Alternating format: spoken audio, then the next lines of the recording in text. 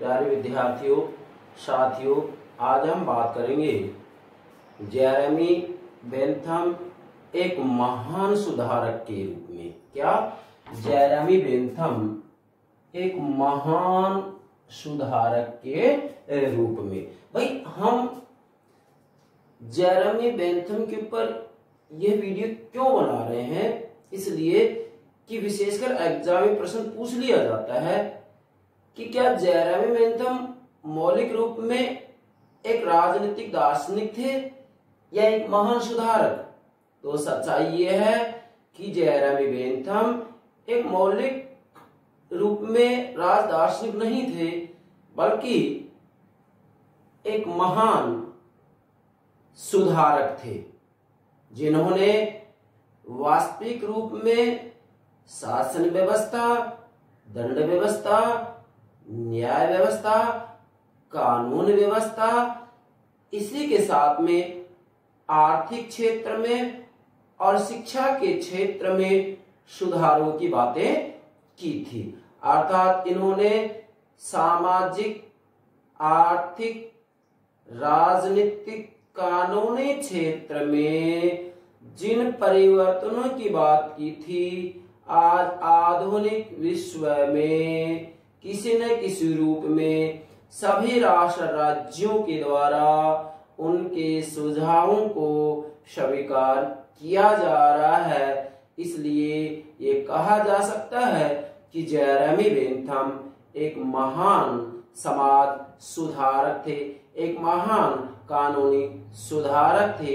इसी के साथ में एक महान शैक्षणिक जगत में भी महान सुधारक थे। तो यह बात आपको ध्यान में रखनी है। अतः आप इससे क्या समझे? इसका भावार्थ यह है कि जयरामी बेंथम एक मौलिक रूप में राजनीतिक दार्शनिक नहीं थे, बल्कि एक महान सुधारक थे। यह एग्ज़ाम की दृष्टि से बहुत महत्वपूर्ण प्रश्न है। चलिए अब हम आगे बढ़ते हैं। तो सबसे पहले तो आप ध्यान देंगे कि एक विद्वान है कैटलिन। क्या? कैटलिन। कैटलिन क्या कह रहे हैं? जेरेमी बेंथम के बारे में। क्या? जेरेमी बेंथम के बारे में कह रहे हैं कैटलिन कि जेरेमी बेंथम का उपयोगितावाद नोट करें। जेरेमी बेंथम का उपयोगितावाद एक राजनीतिक विचारधारा ही नहीं, प्रत्युत, बल्कि यह प्रधानतः एक सुधारवादी विचारधारा है।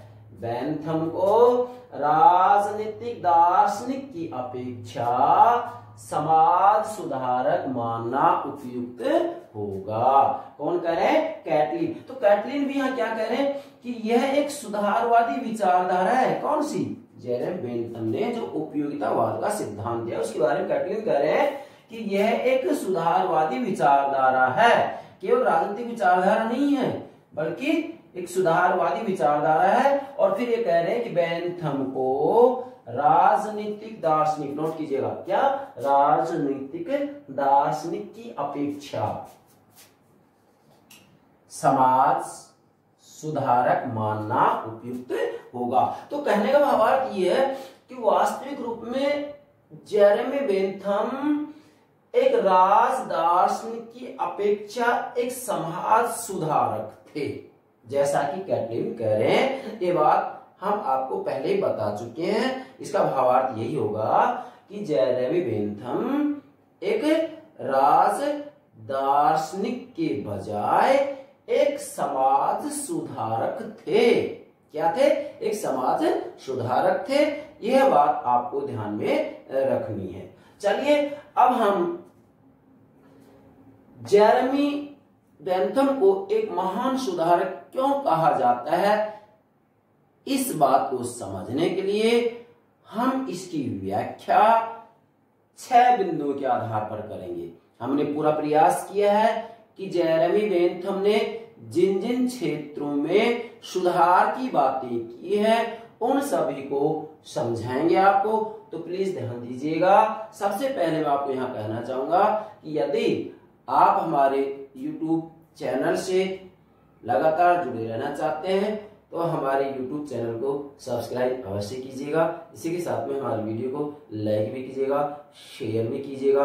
प्लीज़ जिससे कि हम ज़्यादा से ज़्यादा आपको राजनीति विज्ञान के बारे में बताने का प्रयास करेंगे और मेरा वार्षिक प्रयास होगा कि संपूर्ण रूप में राजनीति विज्ञान के बारे में जितने भी अवधारणाएँ हैं, या मैं ये कहूँ कि राजनीति विज्ञान से संबंधित जितने भी पेपर्स हैं, उन सभी के बारे में मैं आपको ज़्यादा से ज़्यादा बतलाने का प्रयास करूँगा। यहाँ हम औपचारिकता नहीं बताएँगे, हम यहाँ औपचारिकता नहीं निभाएँगे। केवल यहाँ हम प्रत्येक बात को गहराई से बताने का प्रयास करेंगे। इसके लिए एक बात और ध्यान रखेंगे, चाहे हम किसी भी पश्चिमी राजनीतिक विचारक की बात कर रहे हो। अगर आप एक विचार को समग्र रूप में समझना चाहते हैं तो उससे संबंधित हम जितनी भी वीडियो अपलोड कर रहे हैं, उन सभी को समझना अति आवश्यक है। अन्यथा आप समग्र रूप में इन विचारों के विचारों को नहीं समझेंगे। क्यों? क्योंकि यदि हम यहाँ औपचारिकता ही निभाते तो तय मानेगा हम एक विचारक के लिए एक ही वीडियो अपलोड कर देते। जैसा कि आप स्वयं देखते हैं और हमने भी देखा था कि कुछ लोग तो यहाँ तक है कि एक वीडियो के अंतर्गत ही पूरे पश्चिमी राजनीतिक विचारकों को बतला देते हैं। तो क्या भाई ये बात ठीक है। एक 25 मिनट के अंतर्गत पूरे पश्चिमी राजनीतिक विचारकों के इतिहास को समझा जा सकता है? असंभव। तो ध्यान दीजिएगा। सबसे जो पहली बात आती है कि जैरमी बेंथम एक महान सुधारक क्यों थे? पहला बिंदु क्या बना रहे हैं हम? ध्यान दें, शासन प्रणाली में सुधार। ठीक है? ये बात तो क्लियर है कि कहाँ के थे विचारक? इंग्लैंड के थे। तो इंग्लैंड के अंतर्गत ही उन्होंने उस समय वास्तविक रूप में प्रत्येक क्षेत्र में सुधार या परिवर्तन की बात की थी। और इसके बाद में हमें कहेंगे कि आज पूरी दुनिया में जहाँ कहीं भी इनके द्वारा जो भी सुझाव दिए गए उन सुझावों को किसी न किसी रूप में स्वीकार किया गया है। ये बात भी आपको ध्यान में रखनी है। तो शासन प्रणाली में सुधार, सबसे पहला बिंदु नोट कीजिएगा। क्या शासन प्रणाली में सुधार की बात की उन्होंने क्या कहा है यहाँ? ध्यान दें। वास्तविक रूप में जेरेमी बेनथम ने अपने उपयोगितावादी सिद्धांत के आधार पर, मैं फिर कह रहा हूँ, चाहे जयराम बेनथम एक सुधार के रूप में ही हो लेकिन इनका जो मूल आधार है, वो तो भाई एक ही है, अधिकतम लोगों का अधिकतम सुख। इसके आधार पर ही प्रत्येक क्षेत्र में परिवर्तन की, सुधार की बातें करेंगे, यह बात आपको ध्यान में रखनी है। तो ये जो जयराम मेनथम है, शासन प्रणाली सुधार की बात कर रहे हैं तो क्या करें, ध्यान देंगे कि जयराम मेनथम राजतंत्रीय प्रणाली और अर्थतंत्रीय प्रणाली के स्थान पर गणतंत्रीय प्रणाली को श्रेष्ठ मानते हैं। नंबर एक बात ये ध्यान रखें, क्या? कि बेनतम राजतंत्र, अल्पतंत्र के स्थान पर गणतंत्र की प्रशंसा करते हैं। ऐसा क्यों भाई? ऐसा इसलिए क्योंकि जो उपयोगितावादी विचारधारा का या इनके सिद्धांत का जो मूल आधार है, वो है अधिकतम लोगों का अधिकतम सुख। तो ना तो ये राजतंत्र में संभव है। राजतंत्र में भी संभव नहीं है और अल्पतंत्र में भी संभव नहीं है और गणतंत्र में संभव है कि गणतंत्र में वास्तविक रूप में भाई बहुमत का तो शासन होता है और यहाँ पर जो भी कानून बनाए जाएँगे, वास्तविक रूप में ज़्यादा से ज़्यादा प्रयास यही तो होगा कि ज़्यादा से ज़्यादा लोगों को सुखों की प्राप्ति हो या ज़्यादा से ज़्यादा लोगों के हित में कानून बनाए जाएँ। इसलिए इन्होंने गणतंत्रीय प्रणाली की प्रशंसा की है, ये बात ध्यान रखें आगे बढ़े जयराम वेंथम ने शासन प्रणाली के क्षेत्र में अगली बात बताई है, क्या सार्वभौमिक व्यस्त मताधिकार की बात की है? किसकी बात की है? सार्वभौमिक व्यस्त मताधिकार की बात की है। अर्थात यहाँ वास्तविक रूप में ये बात अलग है कि कहीं 18 वर्ष की आयु होने पर मत का अधिकार दिया जाता है कहीं पर 21 वर्ष की बात की जाती है। परंतु जयमेंथम कह रहे हैं कि सार्वभौमिक मताधिकार की व्यवस्था की जानी चाहिए। अर्थात यहाँ विशेष कर ये बल दे रहे हैं कि सभी को मत दान का अधिकार हो। अगली बात क्या करेंगे वार्षिक संसद। भाई, इसका तात्पर्य क्या होगा? इनका कहना यह है कि जो व्यवस्थापिका है। ठीक है ब्रिटेन में उसको संसद कहते हैं, हमारे भारत में संसद कहते हैं, अमेरिका में कांग्रेस कहते हैं, जापान में डाइट कहते हैं। लेकिन ये तो इंग्लैंड के हैं, इंग्लैंड की बात कर रहे हैं। तो वहाँ ये कह रहे हैं कि संसद का कार्यकाल एक वर्ष हो। क्या कह रहे हैं? संसद का कार्यकाल एक वर्ष हो। ठीक है? अब ऐसा इसलिए जिससे कि सत्ता का दुरुपयोग ना कर सके। अगली बात क्या कह रहे हैं कि एक सदनीय व्यवस्थापिका। जेरेमी बेंथम शासन प्रणाली के बारे में अगला जो सुझाव दे रहे हैं वो कह रहे हैं कि एक सदनीय व्यवस्थापिका होनी चाहिए। यहाँ इसका मतलब क्या है? देखो, व्यवस्थापिकाओं के संगठन की बात आती है तो विशेषकर व्यवस्थापिका के संगठन के संदर्भ में दो सिद्धांत होते हैं। या तो एक सदनीय व्यवस्थापिका होती है या द्विसदनीय व्यवस्थापिका होती है। विशेषकर ये दो ही होते हैं, बाकी इसके अपवाद भी पाए जाते हैं। अब एक सदनीय द्विसदनीय व्यवस्थापिका, जैसे मैं आपको बताना चाहूँ वर्तमान समय में चीन के अंतर्गत एक सदनीय व्यवस्थापिका है, और वही ब्रिटेन में भी द्विसदनीय भारत में भी द्विसदनीय जापान में भी द्विसदनीय काफ़ी लंबा वर्णन है ये। तो यहाँ हम इस बात को यही विराम दे रहे हैं। ध्यान दें कि जो जैरेम बेंथम है, वो कह रहे हैं कि यहाँ पर मतलब इंग्लैंड में, कि एक सदनीय व्यवस्थापिका हो। ऐसा क्यों कह रहे हैं? इनका कहना है कि वास्तविक रूप में लॉर्ड सभा जो है मतलब देखो ब्रिटेन की संसद दो सदन है ना लॉर्ड सभा और लोक सदन क्या? लॉर्ड सभा और लोक सदन। तो यहाँ लाड़ सभा के बारे में कह रहे हैं कि ये संपत्तिशालियों का गढ़ है इसलिए भाई इसको समाप्त कर दिया जाना चाहिए। तो यहाँ पर ये एक सदनीय व्यवस्थापिका की बात करें मतलब व्यवस्थापिका में एक सदन ये सुझाव दे रहे अगली बात क्या करें गुप्त मतदान। उस समय वास्तविक रूप में जब मतदान होता था, था क्या उस समय जब मतदान होता था तो वह मतलब बिल्कुल खुले रूप में होता था। हाथ उठा करके उसके पक्ष या विपक्ष में मत दिया जाता था।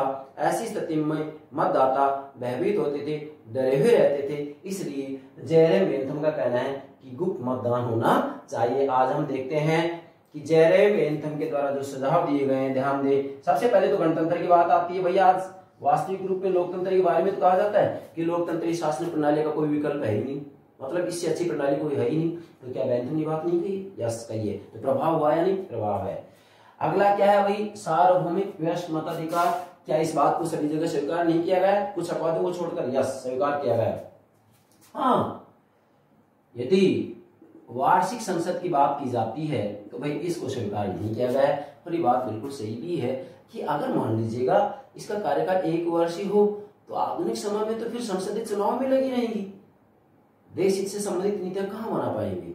इसलिए इसको स्वीकार नहीं किया गया है। अगली बात क्या है? एक सदन व्यवस्थापिका ठीक है। वहाँ पर आज संसद के दो सदन है, लेकिन भाई, ये बात तो सत्य है कि लॉर्ड सभा एक महत्वपूर्ण सदन है। उसके पास कोई शक्तियाँ है ही नहीं। विलंबकारी शक्ति है, और इसके साथ में वहाँ चाहे लॉर्ड सभा की सदस्य संख्या हज़ारों में हो, लेकिन उसका कोरम क्या है? गुणपूर्ति केवल तीन ही तो है।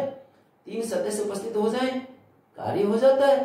तो इसलिए हम कह सकते हैं कि लॉर्ड सभा के पास कोई शक्तियाँ नहीं है। इसलिए यदि उसको समाप्त ना भी किया जाए तो कोई फ़र्क पड़ने वाला नहीं है। तो यहाँ पर हम कहेंगे कि वास्तविक रूप में वहाँ जो लोक सदन है वही संसद है। वही संसद है। ठीक है? और गुप्त मतदान इसको भी स्वीकार कर लिया गया है। तो इस आधार पर आप कहेंगे कि जयरेम बेंथम शासन प्रणाली के अंतर्गत जो सुधारों की बात करते हैं, किसी न किसी रूप में सब बातों का स्वीकार किया गया है। अब इन्होंने दूसरा जो सुधार की बात की क्या है? ध्यान दें विधि निर्माण के क्षेत्र में सुधार। दूसरा बिंदु नोट करें। विधि निर्माण के क्षेत्र में सुधार। ध्यान दें वास्तविक रूप में जेरेमी बेंथम के द्वारा जब अपनी महत्वपूर्ण पुस्तक, क्या महत्वपूर्ण पुस्तक? Principle of morals and legislation क्या ये? लेजिस्लेशन प्रकाशित हुई। ये पुस्तक प्रकाशित हुई। इसका तो क्या होगा? विधि, निर्माण और नैतिकता के सिद्धांत। नोट करें, विधि, निर्माण और नैतिकता के सिद्धांत, यह भी इनकी महत्वपूर्ण पुस्तक है। और इससे पहले हमने आपको पिछली वीडियो में बताया था कि इनकी जो पहली महत्वपूर्ण पुस्तक वो क्या है? शासन पर कुछ विचार। फ्रेगमेंट्स ऑन गवर्नमेंट ये ध्यान रखेंगे। क्या? ये दो किताबें होगी, शासन पर कुछ विचार और दूसरी क्या है ये? विधि निर्माण और नैतिकता के सिद्धांत। तो जैसे ही ये पुस्तक प्रकाशित होती है तो वही जयराम बेंथम दो किताबों के नाम याद हो गए आपको महत्वपूर्ण? शासन पर कुछ विचार और विधि निर्माण और नैतिकता के सिद्धांत। दो किताबें सबसे महत्वपूर्ण। नोट करेंगे अब ये पुस्तक जैसे प्रकाशित होती है तो वास्तविक रूप में जयराम बेंथम विधि निर्माण के क्षेत्र में एक नए पैगंबर बन गए। नोट करें, क्या बन गए? एक नए पैगंबर बन गए। मतलब इन्होंने वास्तविक रूप में इस किताब के माध्यम से पूरी दुनिया को पैगाम दिया, संदेश भेजा कि विधियों को इस प्रकार का होना चाहिए। मतलब यहाँ विशेषकर हम ये कहना चाहेंगे कि जयरामी बेनथम ने अपनी इस पुस्तक के अंतर्गत सबसे पहले ये बात बताई। क्या बताई? कि उस समय विधियाँ अस्त व्यस्त रूप में थी। इधर उधर बिखरी पड़ी थी। तो जयरामी बेनथम ने कहा कि भाई, इन विधियों को व्यवस्थित कर दिया जाना चाहिए। ये विधियों को व्यवस्थित करना ही क्या कहलाता है? संहिताकरण नोट करेंगे। तो जयरामी बेनथम ने संहिताकरण के ऊपर विशेष बल दिया था। मतलब जो कानून अस्त व्यस्त रूप में बिखरे हुए थे उनका संहिताकरण के ऊपर बल दे रहे हैं। और जयरामी मेंथन ने वास्तविक रूप में संयुक्त राज्य अमेरिका, फ्रांस और भारत की विधियों का संहिताकरण किया था। ध्यान देंगे बहुत महत्वपूर्ण बात है ठीक है? तो सबसे पहला इनका जो सुधार होगा, क्या होगा? कि विधियों का संहिताकरण किया जाना चाहिए। ध्यान देंगे। इसके बाद में विशेषकर जेरमी बेंथम का कहना है कि विधियाँ बनाते समय मतलब जब विधायक कानून बनाए तो उस समय उनके द्वारा ये ध्यान रखा जाना चाहिए कि कानून के, विधि के चार उद्देश्य होते हैं। और इन उद्देश्यों को ध्यान में रखा जाना चाहिए। कितने उद्देश्य बता रहे हैं? चार उद्देश्य। एग्ज़ाम की दृष्टि से बहुत महत्वपूर्ण है ये। हमने पिछली वीडियो में आपको ये बातें बताई थी, किसी न किसी रूप में चार उद्देश्य क्या है नोट करें। आजीविका पहला, दूसरा पर्याप्तता, तीसरा समानता, और चौथा क्या है भाई? सुरक्षा। तो ये कह रहे हैं कि विधि बनाते समय इन चारों उद्देश्यों को ध्यान में रखा जाना चाहिए। नोट कीजिएगा। अब यहाँ इसके बारे में जो संहिता करण की हमने बात की थी, बहुत महत्वपूर्ण बात है कि जयरामी बेंथम ने, रूस के लिए जब विधियों का संग्रह किया, कहा? रूस। के लिए जब विधियों का संग्रह किया तो वहाँ अलेक्जेंडर के द्वारा, किसके द्वारा? अलेक्जेंडर के द्वारा, अलेक्जेंडर शासक के द्वारा जैरे मेनथम को एक हीरा भेंट किया गया था। यह बात आपको ध्यान में रखनी। मतलब प्रसन्न होकर के कि भाई इन्होंने कानूनों का संग्रह किया मतलब विधियों का संहिताकरण किया है, जो कानून अस्त व्यस्त रूप में बिखरे हुए थे, इनको इन्होंने व्यवस्थित रूप दिया है। इससे प्रसन्न होकर के अलेक्जेंडर ने इनको हीरा भेंट किया था, यह बात आपको ध्यान में रखनी है। इसके बाद में ये देश हो गई चार। एग्ज़ाम दृष्टि बहुत महत्वपूर्ण है।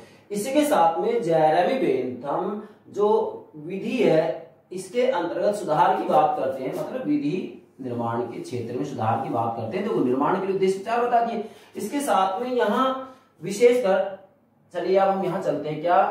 कि ये एक अच्छी विधि में, अच्छे कानून में, ये कहते हैं कि इसमें छह लक्षण होने चाहिए। पिछली वीडियो हमने आपको किसी न किसी बिंदु में बात बताई थी, आज पुनः चूँकि यहाँ पर इसकी आवश्यकता है, भाई ध्यान दें, चार उद्देश्य हो गए और छह लक्षण बताए हैं इसके। मतलब एक अच्छे कानून में छह लक्षण होने चाहिए जयरे बेंथम कह रहे हैं कि विधायकों के द्वारा जब कानून बनाया जाए तो समय सबसे पहले तो उद्देश्य को ध्यान में दे कि इन चार उद्देश्यों के अनुरूप कानून बनाए। और उसके बाद में ये भी देखा जाना चाहिए कि उस कानून में ये छह लक्षण होने चाहिए। मतलब अच्छा कानून है तो छह के छह लक्षण मौजूद होंगे उसमें। कौन कौन से हैं? नोट करें। सबसे पहला है कि वह कानून जनता की आकांक्षाओं और विवेक बुद्धि के अनुरूप होना चाहिए। पहला, नोट कीजिएगा। कानून जनता की आकांक्षाओं और विवेक बुद्धि के अनुरूप होना चाहिए। पहला लक्षण होगा। दूसरा क्या है? कि उन कानूनों के बारे में जनता को ज्ञान होना चाहिए। क्या उन कानूनों के बारे में जनता को ज्ञान होना चाहिए? एक लक्षण, दूसरा लक्षण, तीसरा लक्षण क्या है? कि वो कानून विरोधाभासी न हो। मतलब उन कानूनी की जो तो शब्दावलियाँ हैं, उनका जब भावार्थ लिया जाए, अर्थ लिया जाए, तात्पर्य लिया जाए तो विरोधाभासी ना हो। ऐसा ना हो कि एक तरफ़ उसका अभिप्राय कुछ निकल रहा हो, दूसरी तरफ़ उसका अभिप्राय कुछ निकल रहा हो। इसलिए तीसरा लक्षण क्या है अच्छे कानून का? कि वो कानून विरोधाभासी न हो। नोट करें। कानून विरोधाभासी न हो। चौथा क्या है वो इसका लक्षण? कि कानून सरल हो, स्पष्ट हो, सुबोध हो। मतलब कानूनों की शब्दावली सरल होनी चाहिए, स्पष्ट होना चाहिए, ऐसी शब्दावली होनी चाहिए कि सामान्य जनता भी, जनसाधारण भी उन शब्दावलियों को आसानी से, सरलता से समझ सके। इस तरह की शब्दावलियों का प्रयोग किया जाना चाहिए। अगली जो बात है, अगला जो लक्षण है इसका अच्छे कानून का, वो क्या है? कि कानून व्यवहारिक होने चाहिए। मतलब वो कानून ऐसे होने चाहिए जिनको व्यवहारिक रूप में भी लागू किया जा सके। ऐसा ना हो कि व्यवहार में उनको लागू ही ना किया जा सके। और भाई छठा जो इसका लक्षण बताया है इन्होंने, अच्छे कानून का, वो क्या है? कि विवेक पूर्वक तरीके से, अच्छे तरीके से, अच्छी रीति से कानूनों का पालन हो और कानूनों का उल्लंघन होने पर दंड की व्यवस्था होनी चाहिए और दंड देते समय किसी भी रूप में पक्षपात नहीं होना चाहिए। तो मेरे प्यारे विद्यार्थियों, यहाँ जयरमी बेनथम ने विधि निर्माण में जब सुधार की बात की है तो दो बातें ध्यान देंगे यहाँ। उद्देश्य और लक्षण। कितने लक्षण बताए? छह लक्षण। अच्छे कानून के लक्षण छह हैं और उद्देश्य कितने बताए? चार। सबसे ज़्यादा बल किस पर दिया है? संहिताकरण के ऊपर बल दिया है। और ये पुस्तक लिखी है। इस पुस्तक के कारण ये एक नए पैगंबर बन गई। और वास्तविक रूप में इस क्षेत्र में पूरी दुनिया के ऊपर किसी न किसी रूप में इनके विचारों का प्रभाव पड़ा है। ये हो गई दो बातें। चलिए आगे। तीसरा। तीसरा बिंदु नोट करें। न्याय व्यवस्था में सुधार। क्या? न्याय व्यवस्था में सुधार। अब देखें, वास्तविक रूप में जेरेमी बेनथम ने उस समय जब न्याय व्यवस्था को देखा तो इन्होंने पाया, क्या पाया कि इंग्लैंड के अंतर्गत, जैसा स्वयं जेरेमी बेनथम कह रहे हैं, इस देश में मतलब इंग्लैंड में, इस देश में न्याय बेचा जाता है। नोट करिए, पूरी कोटेशन बोलूँगा मैं। इस देश में न्याय बेचा जाता है, बहुत महँगे दामों में बेचा जाता है, जो इसका दाम चुका देता है, उसे न्याय मिल जाता है, और जो इसकी कीमत नहीं चुका सकता, वह न्याय से वंचित रह जाता है। ये पूर्ण कोटेशन है इनकी जय बेंथन की। ठीक है? क्या करें? इस देश में न्याय बेचा जाता है। बहुत महँगे दामों में बेचा जाता है। जो इसकी कीमत चुका देता है, उसे न्याय मिल जाता है। और जो इसकी कीमत नहीं चुकाता या नहीं चुका सकता, वह न्याय से वंचित रह जाता है। नोट करेंगे। अब यहाँ विशेषकर जयरामी बेंथम का कहना है कि न्याय व्यवस्था में सुधार के लिए सबसे पहले तो ये कह रहे हैं कि जूरी प्रणाली की व्यवस्था की जानी चाहिए। इसके बारे में कह रहे हैं कि जब एक न्यायिक बेंच के द्वारा कोई फैसला सुनाया जाता है तो उसमें एक ही न्यायाधीश के द्वारा फैसला सुनाया जाए, जिससे कि वहाँ वास्तविक रूप में उस न्यायाधीश को उत्तरदायी ठहराया जा सके। यह बात आपको ध्यान में रखनी है। इसके साथ में जयराम बेंथम का कहना है कि न्याय में बहुत ज़्यादा विलंब होता है तो ऐसी व्यवस्था की जानी चाहिए जिससे कि जल्दी से जल्दी फैसला सुनाया जा सके। जयराम बेंथम ने सामने देखा था कि कभी कभी ऐसा हो जाता है कि व्यक्ति की मृत्यु तक हो जाती है और तब तक उसे न्याय नहीं मिल पाता है। इसका मतलब क्या न्यायिक व्यवस्था में कमियाँ नहीं है? या न्यायिक व्यवस्था में कमियाँ हैं। इसलिए यहाँ पर ये न्याय व्यवस्था में सुधारों की बातें कर रहे हैं। इसी के साथ में जयराम बेंथम ने वकीलों की भी बहुत ज़्यादा आलोचना की। इनका कहना है कि ये वकील ऐसे होते हैं जिन्हें सत्य असत्य का ज्ञान नहीं होता है, अदूरदर्शी होते हैं। वास्तविक रूप में देखा जाए तो ये सार्वजनिक हित का किसी रूप में ध्यान नहीं रखते हैं।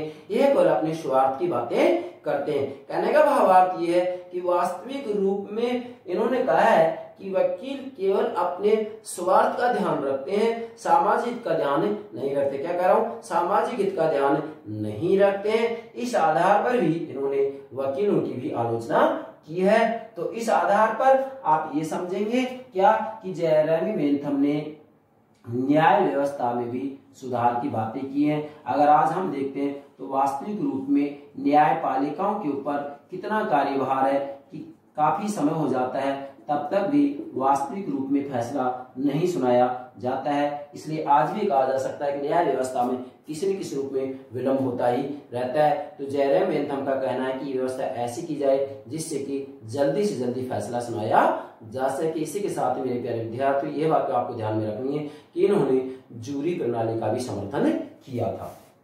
अगली बात क्या है भाई? दंड व्यवस्था एवं जेल सुधार। दो बातें हैं यहाँ। दंड व्यवस्था और जेल सुधार। मतलब इन्होंने दंड व्यवस्था के बारे में भी सुधार की बात की है और जेल व्यवस्था में भी सुधार की बात की है। चलिए।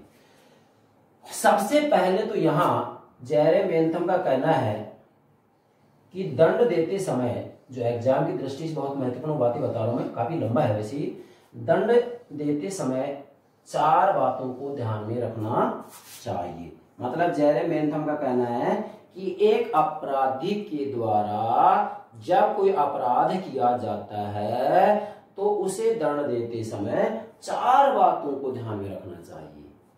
ठीक है? और वो चार बातें कौन कौन सी हैं भाई नोट करेंगे। अपराध किस प्रकार का है? मतलब एक अपराधी के द्वारा जो अपराध किया गया है, वह किस प्रकार का है? किन परिस्थितियों में किया गया है? अपराध की परिस्थितियाँ क्या है? मान लो मैं उदाहरण देना चाह रहा हूँ। एक भूखा व्यक्ति एक रोटी चुरा लेता है अपनी भूख को शांत करने के लिए और एक व्यक्ति के द्वारा बिना किसी व्यवस्था के भी बैंक से चोरी की जाती है तो क्या ऐसी स्थिति में इनकी परिस्थिति अलग नहीं है? भूखा व्यक्ति क्या करेगा? अपनी भूख को शांत करने के लिए उसने रोटी चुरा ली तो क्या बहुत बड़ा अपराध कर दिया? नहीं, जबकि वहाँ बैंक में डकैती की जा रही है। उनकी आदत बन चुकी है तो उनकी परिस्थितियाँ अलग है, इसकी परिस्थितियाँ अलग है। तो अपराध किस प्रकार का है? छोटा, बड़ा, परिस्थितियाँ कैसी हैं? अपराध करने वाले का उद्देश्य क्या है? उसका उद्देश्य क्या है इसका उद्देश्य क्या है भाई? भूखे व्यक्ति ने जो रोटी चुराई, उसका उद्देश्य क्या है अपनी भूख शांत करना बस। बाकी आगे चल करके कोई अपराध को बढ़ावा थोड़ी ना दे रहा है। तो उसका उद्देश्य क्या है अपराध करने वाले का? और अपराध से किसको हानि हुई है? अपराध से किसको हानि हुई है? इन चारों बातों को ध्यान में रखते हुए अपराधी को दंड दिया जाना चाहिए। किसने कही ये बात? जयराम बेंथम ने ये बात कही है। तो यह बात विशेषकर आपको ध्यान में रखनी है। ठीक है? अब दूसरी बात आती है जेल सुधार। देखो, जेरेमी बेंथम ने वास्तविक रूप में जेल व्यवस्था में सुधार के लिए एक योजना दी है। नोट करेंगे, क्या है? पैनोप्टिकन योजना। नोट करें, क्या है? पैनोप्टी, पैनोप्टिकन। क्या है? पैनोप्टिकन योजना। अब ये पैनोप्टिकन योजना क्या है? जयराम बेंथम का कहना है कि जो कारागार है मतलब जेल क्या? जेल, कारागार। जो कारागार है, उस कारागार की इमारतें, क्या? मतलब जो कारागार है, उसका जो भवन है, उसका जो भवन है, कारागार की इमारतें अर्ध आधा अर्ध चंद्राकार मतलब जो आपने देखा होगा ना, आधा चंद्रमा, क्या? आधा चंद्रमा जो होता है, उसकी तरफ़ संकेत है कि जो उनकी इमारतें हैं, वो अर्ध चंद्राकार होनी चाहिए। जैसे हम कहें ये अब इसको अपन इस तरीके से करते हैं, ये अर्ध चंद्राकार हो गया, ये अर्ध चंद्राकार हो गया, ठीक है ये? इस रूप में होनी चाहिए। और ये ऐसा क्यों? क्योंकि यहाँ पर यहाँ पर जो जेलर होता है क्या जेलर होता है? उस जेलर की बैठने की व्यवस्था की जाएगी, जिससे कि वह अपराधियों की गतिविधियों को देख सके। और उन गतिविधियों के अनुरूप जेलर ये देखेगा कि किस अपराधी में, किस अनुपात में सुधार हो रहा है। भाई, इनका कहना यह है कि आप अपराधी को ज़्यादा दंड ना दें, क्योंकि यहाँ अपने उपयुक्तवादी सिद्धांत के आधार पर कह रहे हैं कि अपराधी को दंड दिया जा रहा है, दंड से दुख की प्राप्ति होती है। और बैंथम का कहना है कि व्यवस्था ये हो कि सुख की प्राप्ति हो। इसलिए इनका कहना है कि वहाँ अपराधियों के लिए इस रूप में व्यवस्था की जाए, जिससे कि अपराधियों की गतिविधियों में सुधार हो। मतलब एक अपराधी में धीरे धीरे सुधार हो। इस सुधार के अनुरूप ही इन्होंने अर्ध चंद्राकार जेल की व्यवस्था की है, जिससे कि जेलर उनकी गतिविधियों को देख सके। मैं पुनः कह रहा हूँ, जयराम बैंथम का उद्देश्य ये नहीं है कि अपराधी को बहुत भारी भरकम दंड दिया जाए। नो इनका कहना है कि बहुत ज़्यादा दंड देने से तो भाई उसको दुखों की प्राप्ति होती है। और इनका कहना क्या है? अधिकतम लोगों का अधिकतम सुख। तो ये तो मूलतः उन अपराधियों में सुधार करना चाहते हैं। उनको दंड दे करके पीड़ित या कष्ट नहीं पहुंचाना चाह रहे हैं। ये बात आपको ध्यान में रखनी है। और वास्तविक रूप में, किसी न किसी रूप में इन सब बातों को आज स्वीकार किया जाता है। तो यहाँ एग्ज़ाम ये बात पूछ ली जाती है कि पैनोप्टिकन योजना निम्न में से किस विद्वान के द्वारा दी गई है? तो आपका आंसर क्या होगा? जयरामी बेंथम के द्वारा। फिर अगला प्रश्न बन रहा है कि जेल की इमारतों क्या जेल की इमारतें अर्धचंद्राकार हों? यह बात किसने कही है? जैरमी बेंथम ने कही है। इसी के साथ में दंड देते समय चार बातें ध्यान में रखनी चाहिए। तो चारे बिंदु आपको याद होना चाहिए। इसमें किसी भी रूप में प्रश्न पूछा जा सकता है। वैसे तो यहाँ प्रत्येक बिंदु के अंतर्गत कितने ही प्रश्न बन रहे हैं, ये बात आपको ध्यान में रखनी है। हमारा उद्देश्य यहाँ प्रश्न बना करके और ऑब्जेक्टिव टाइप में चार विकल्प देकर के ये बताना नहीं है। हमारा तो ये है कि विशेषकर हम इन विचारकों को तरीके से समझाएँ, जिससे कि किसी भी रूप में आपसे एग्ज़ाम प्रश्न पूछा जाए तो आप तरीके से आंसर दे देंगे। अगला क्या है भाई? पांचवा व्याख्या का बिंदु, शिक्षा योजना। अब देखो, इनका कहना है कि समाज में वास्तविक रूप में यदि सुधार करना हो तो इसके लिए सबसे अच्छा साधन है शिक्षा। यस।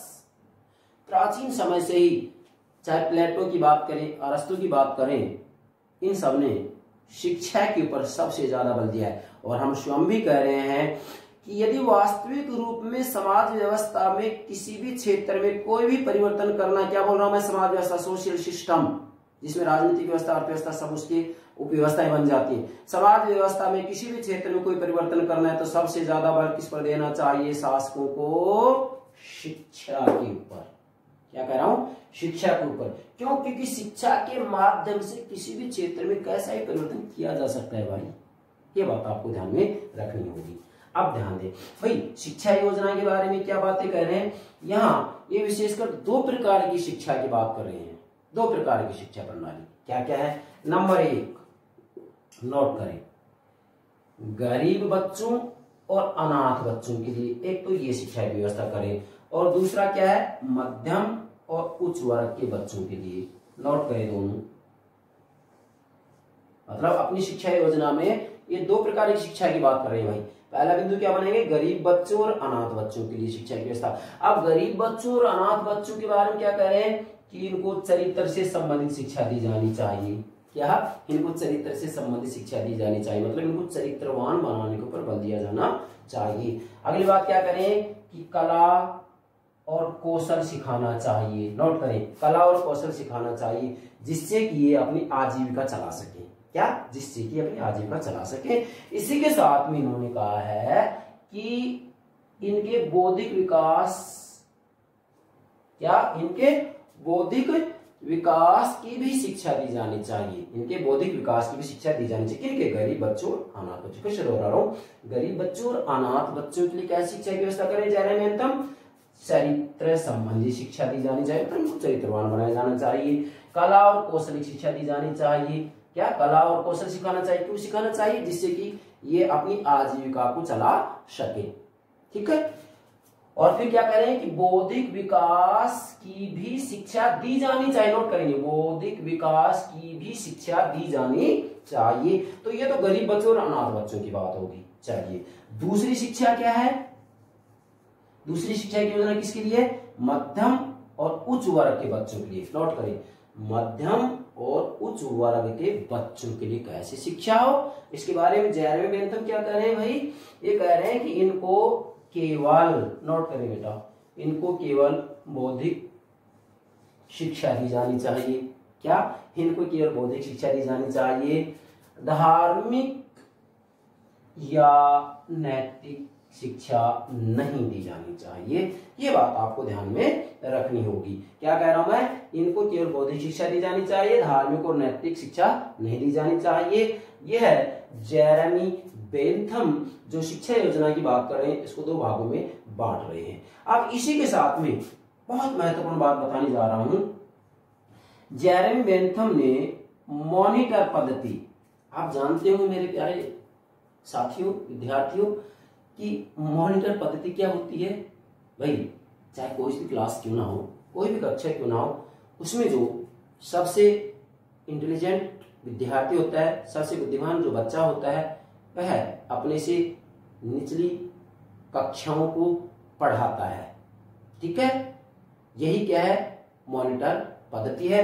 तो जेरेमी वेंथम ने भी अपनी शिक्षा सुधार के अंतर्गत या शिक्षा योजना के अंतर्गत शिक्षा व्यवस्था में सुधार के लिए मॉनिटर पद्धति का समर्थक थे। ये नोट करेंगे क्या? जेरेमी वेंथम मॉनिटर पद्धति के समर्थक थे।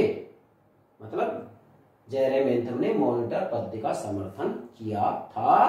तो यहाँ पर भी एग्ज़ाम में किसी न किसी रूप में प्रश्न पूछ लिया जाता है कि क्या जयरेमेंथम ने मॉनिटर पद्धति का समर्थन किया था? यस किया था। या चार विद्वानों के नाम दे दिए जाएँगे। आपको छटनी करनी है कि जयरेमेंथम इसके समर्थक थे किसके मॉनिटर पद्धति के ध्यान देंगे। और बहुत महत्वपूर्ण बात आ रही आगे कि जेरेमी बेंथम ने ही सर्वप्रथम नोट कीजिएगा। जेरेमी बेंथम ने सर्वप्रथम जन साधारण की शिक्षा पर ज़ोर दिया और राज्य द्वारा ये शिक्षा देने की बात कही है।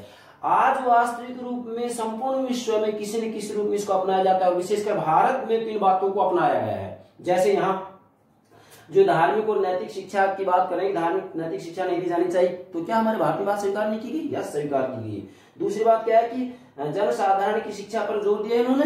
सर्वप्रथम, क्या करूँ? सर्वप्रथम जयरे मेहतम ने जन सामान्य जन साधारण शिक्षा के ऊपर ज़ोर दिया और कहा कि राज्य के द्वारा दिया जाना चाहिए। तो क्या हमारे भारत में इस बात को स्वीकार नहीं किया गया? यस किया गया है। तो किसी न किसी रूप में हम प्रत्यक्ष या अप्रत्यक्ष रूप में जय बेंथम के विचारों से प्रभावित हुए हैं भाई? ये बात आपको ध्यान में रखनी है। तो आपसे यहाँ एग्ज़ाम पूछ लिया जा सकता है कि निम्न में से किस पश्चिमी राजनीतिक विचारक के द्वारा सर्वप्रथम जन साधारण की शिक्षा पर ज़ोर दिया गया। तो किसके द्वारा? जयरेम बेंथम के द्वारा। ठीक है? और इसी के साथ में उनका है कि ये शिक्षा राज्य के द्वारा दी जानी चाहिए। अब आप इस आधार पर ये कह सकते हैं कि इसका भारत के ऊपर प्रभाव पड़ा है। क्या कर रहा हूँ मैं? इसका भारत के ऊपर प्रभाव पड़ा है मतलब जयरे बेंथम के इन विचारों का हमारे ऊपर प्रभाव पड़ा है मतलब भारत के ऊपर प्रभाव पड़ा है। यह बात भी आपको ध्यान में रखनी है। ये हो गया भाई आपका शिक्षा योजना। या शिक्षा में किन सुधारों की बात जयरमी बेंथम ने की है? और अंतिम व्याख्या का जो बिंदु होगा वो होगा आर्थिक विचार। नोट कीजिएगा, क्या है? आर्थिक विचार। क्या है? आर्थिक विचार। अब यहाँ क्या है? Adam Smith. कौन है? एडम स्मिथ का जेरेम बेंथम अनुयायी था।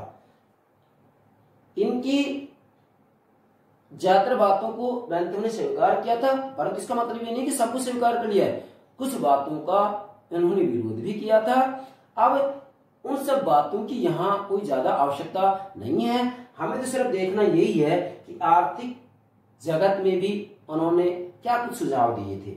तो यहाँ जो मूल बात आ रही हुई आ रही है कि जेरेमी बेंथम ने ये कहा है, क्या कहा है? एडम स्मिथ की बात का समर्थन करते हुए। किसका?